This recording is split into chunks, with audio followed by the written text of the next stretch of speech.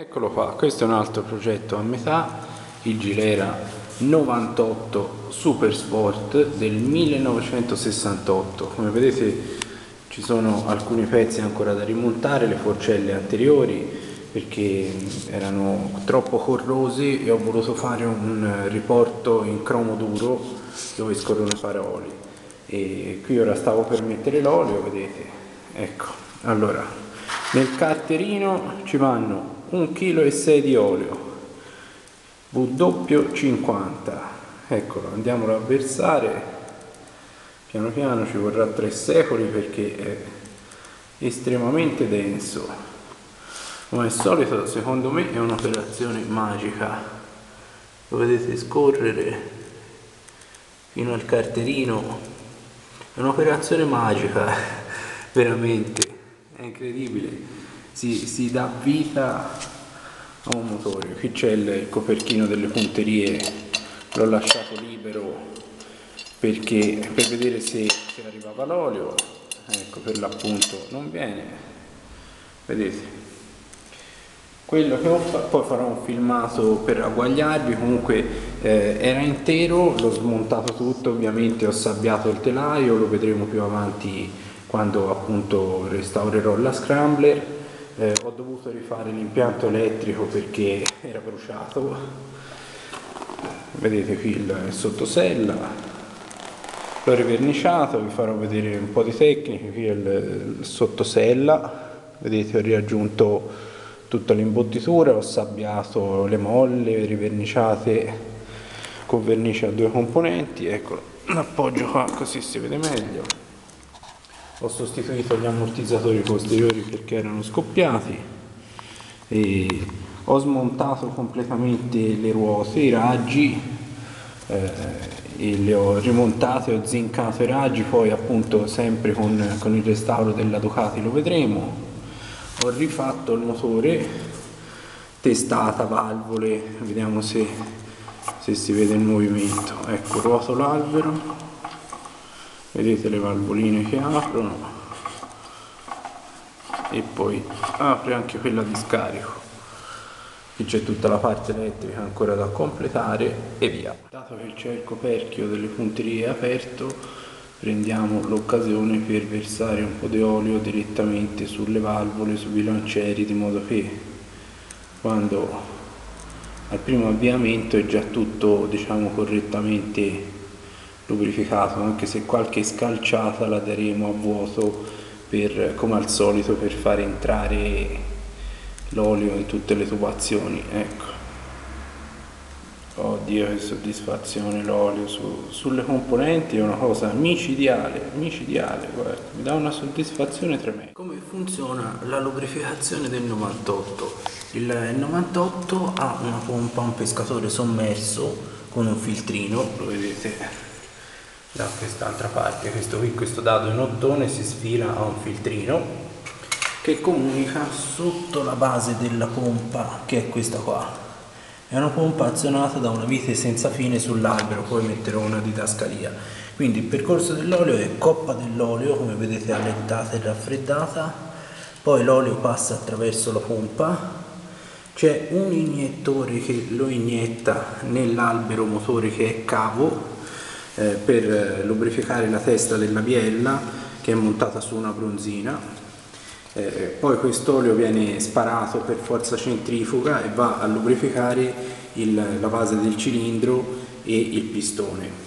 Il percorso prosegue, prosegue perché qui c'è un tubettino in questo coperchio eh, e un prigioniero della testata è forato. Vediamo se faccio un po' di luce e si vede meglio da questo prigioniero qui eh, fuoriesce l'olio che va a riempire questa cameretta lasciamo la luce accesa questa cameretta qui eh, e eh, l'asta eh, il perno dei bilancieri è cavo anche questo e va a lubrificare i bilancieri e le valvole. Vediamo se dando qualche pedalata si riesce a vedere l'olio che fuoriesce come vi dicevo è importantissimo farlo arrivare in pressione.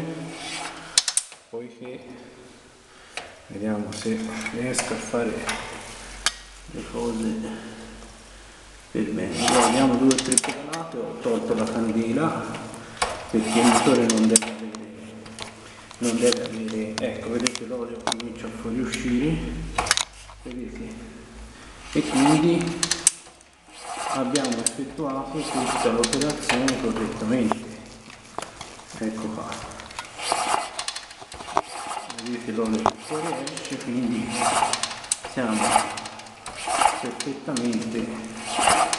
È importante eh, sistemare bene la guarnizione del, co del coperchio delle punterie questa qua soprattutto in questo punto perché questa cameretta qui deve rimanere in pressione se eh, fuoriesce l'olio da qualche parte anche l'albero motore non sarà lubrificato a dovere e si grippa il, la bronzina di biella che non va bene. A questo punto non ci resta che piangere, no, questa, quella era un'altra cosa.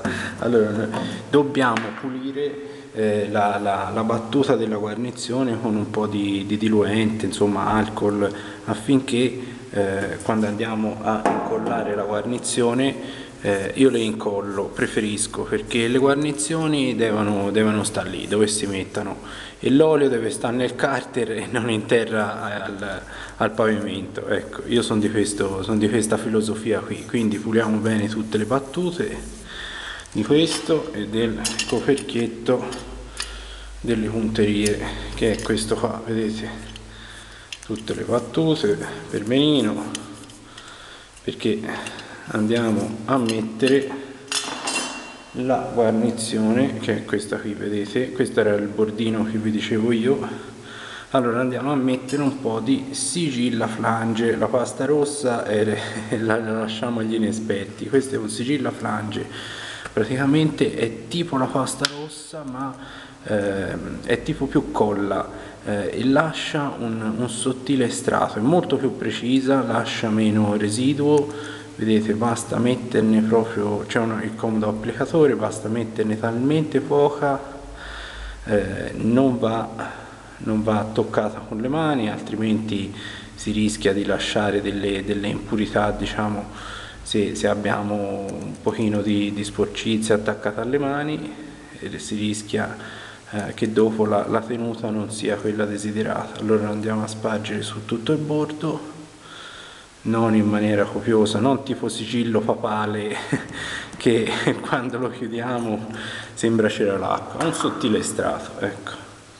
Andiamo a posare la guarnizione in questo modo, ecco qua.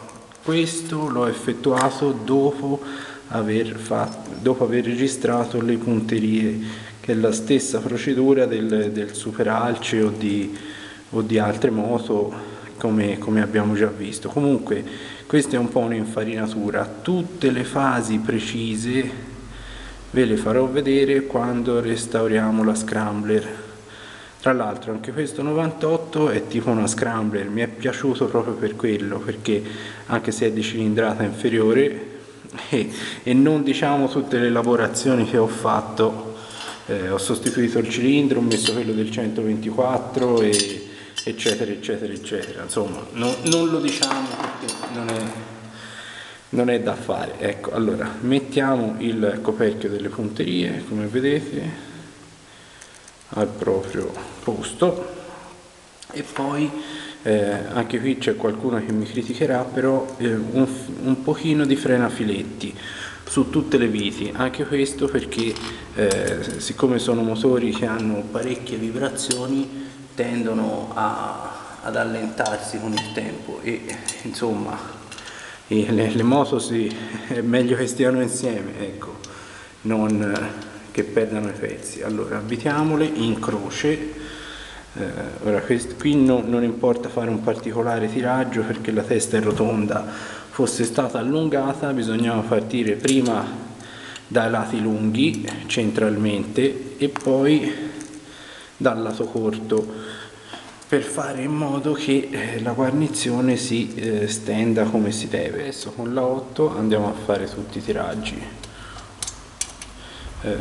io andrei per gradi eh, e non tirerei oltre al chilo, ecco un po' assentita come si dice perché se stringiamo troppo la guarnizione rischia di rompersi e è un problema, ecco basta pochino senza esagerare, poi ci pensa la colla, il calore e il rodaggio. Apriamo lo sportellino porta attrezzi laterale e cosa troviamo?